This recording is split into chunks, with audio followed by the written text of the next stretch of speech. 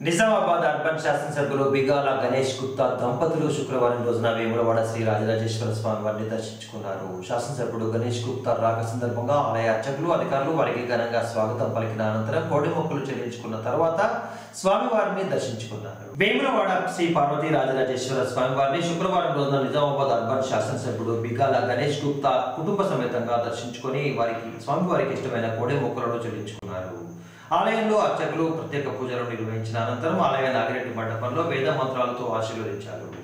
ఆలయ పర్యవేక్షకులు శంకర్ వారికి స్వామివారి ప్రసాదాన్ని అందించారు. వారి వెంట ప్రోటోకాల్ పర్యవేక్షకులు శ్రీ శ్రీరాములు ఆలయ ఇన్స్పెక్టర్ సంఖ్యపల్లి పవన్ కుమార్ తదితరులు ఉన్నారు.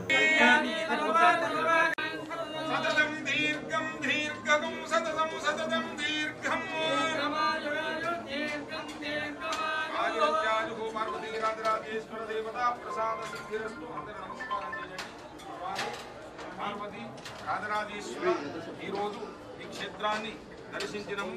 మా కుటుంబాన్ని మమ్మలను సర్వవేళల చల్లగా రక్షించు పార్వతి రాజరాజేశ్వర. నమ పార్వతీ హర హర మహాదేవ.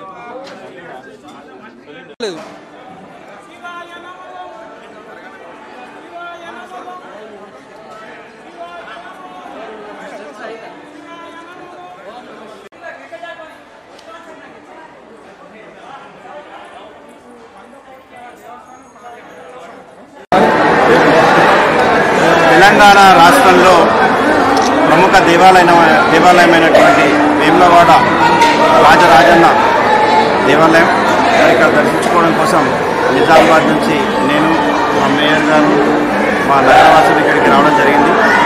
ప్రత్యేకమైనటువంటి శ్రద్ధ ముఖ్యమంత్రి కేసీఆర్ గారు చూపించి ధర్మపురి కానీ అదేవిధంగా వేములవాడ కూడా యాదగిరి గుట్టతో పాటు మేము డెవలప్ చేస్తామని చెప్పేసి పాటించారు దానికి అనుగుణంగానే వారి మాటలో కాకుండా చేతుల్లో చూపిస్తారని వివిధ సందర్భాల్లో వారు చెప్పారు. మరి ఆ జిల్లా పేరు కూడా సిరిసిల్ల సిరిసిల్ల రాజన్న రాజన్న సిరిసిల్ల జిల్లాగా మార్చడం. మరి వారికి ఉన్నటువంటి శ్రద్ధ వారికి ఉన్నటువంటి చెప్పకనే చెప్పచ్చు. మరి మాకు ఆశీస్సులు స్వామి గారి ఆశీస్సులు మా మీద ఉండాలని చెప్పేసి తెలియజేస్తూ జై హింద్